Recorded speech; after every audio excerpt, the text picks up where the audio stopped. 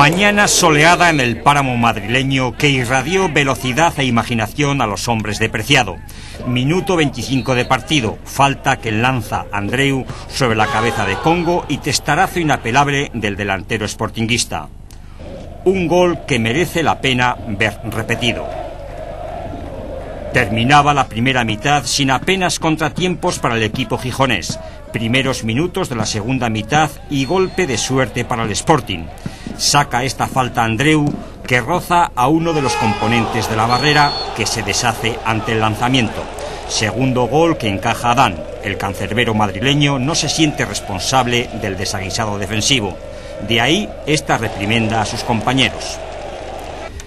Minuto 84. El árbitro del comité andaluz, Paradas Romero, señala en esta jugada que se produce en el área gijonesa el punto de penalti, pero tiene la habilidad de consultar lo sucedido con su asistente que le informa.